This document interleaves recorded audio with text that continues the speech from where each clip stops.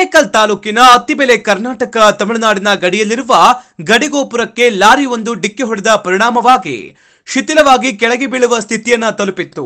ಇದನ್ನು ಗಮನಿಸಿದ ಕನ್ನಡ ಜಾಗೃತಿ ವೇದಿಕೆ ಸಂಸ್ಥಾಪಕ ಅಧ್ಯಕ್ಷರಾದ ಮಂಜುನಾಥ್ ದೇವು ಹಾಗೂ ಅವರ ಸಂಘದ ಸದಸ್ಯರು ತಡರಾತ್ರಿಯಲ್ಲೇ ಪಟ್ಟು ಹಿಡಿದು ಮರು ನಿರ್ಮಾಣ ಮಾಡಲು ಪ್ರತಿಭಟನೆ ಹಮ್ಮಿಕೊಳ್ಳಲಾಗಿತ್ತು. ಪಟ್ಟು ಹಿಡಿದು ಸತತ ಪ್ರಯತ್ನದಿಂದ ಅಧಿಕಾರಿಗಳ ಗಮನಕ್ಕೆ ತಂದು, ಎಂದು ಜಿಲ್ಲಾಧಿಕಾರಿಗಳ ಕಚೇರಿಯಲ್ಲಿ ಅಸ್ತು ಅಂತ ಪ್ರಭಾರ ಜಿಲ್ಲಾಧಿಕಾರಿ ಸಂಗಪ್ಪ ಹೇಳಿದ್ದಾರೆ. ಇನ್ನು ಮಂಜುನಾಥ್ ದೇವರವರ ಸತತ ಪ್ರಯತ್ನ ಇದಲ್ಲದೆ, ಕನ್ನಡ ಪ್ರೇಮ ಇವರ ಈ ಒಂದು ಕಾರ್ಯ ಕನ್ನಡ ಪರ ಸಂಘಟನೆಗಳಿಗೆ ಸ್ಫೂರ್ತಿಯಲ್ಲವೇ? ಅತ್ತಿಬೆಲೆ ಗಡಿಗೋಪುರದ ಮರು ನಿರ್ಮಾಣ ಮಾಡುವ ವಿಚಾರಕ್ಕೆ ಸಂಬಂಧಪಟ್ಟಂತೆ ಇಂದು ಜಿಲ್ಲಾಧಿಕಾರಿಗಳ ನೇತೃತ್ವದಲ್ಲಿ ಸಭೆಯನ್ನ ಕರೆಯಲಾಗಿತ್ತು. ಇನ್ನು ಈ ಸಭೆಯಲ್ಲಿ ಕನ್ನಡ ಜಾಗೃತಿ ವೇದಿಕೆ ಮತ್ತು ವಿವಿಧ ಇಲಾಖೆಯ ಅಧಿಕಾರಿಗಳು ಸಭೆಯಲ್ಲಿ ಭಾಗಿಯಾಗಿದ್ದರು.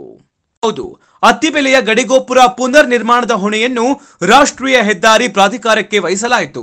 ಮುಂದಿನ ವಾರದಿಂದಲೇ ಗಡಿಗೋಪುರದ ಕಾಮಗಾರಿ ಕೆಲಸ ಪ್ರಾರಂಭಿಸಲು ತೀರ್ಮಾನಿಸಲಾಯಿತು. ಸಭೆಯಲ್ಲಿ ರಾಷ್ಟ್ರೀಯ ಹೆದ್ದಾರಿ ಪ್ರಾಧಿಕಾರದ ಅಧಿಕಾರಿ ಶ್ರೀಧರ್, ಗಡಿ ಅಭಿವೃದ್ಧಿ ಪ್ರಾಧಿಕಾರದ ಕಾರ್ಯದರ್ಶಿ ಪ್ರಕಾಶ್, ಆನೇಕಲ್ ತಾಲೂಕು ತಹಶೀಲ್ದಾರ್ ಶಿವಪ್ಪ ಲಮಾಣಿರವರು ಅತ್ತಿಬೆಲೆ ಆರಕ್ಷಕ ವೃತ್ತ ನಿರೀಕ್ಷಕರಾದ ವಿಶ್ವನಾಥ್ ಲೋಕೋಪಯೋಗಿ ಇಲಾಖೆ ಅಧಿಕಾರಿಗಳು ಹಾಜರಿದ್ದರು.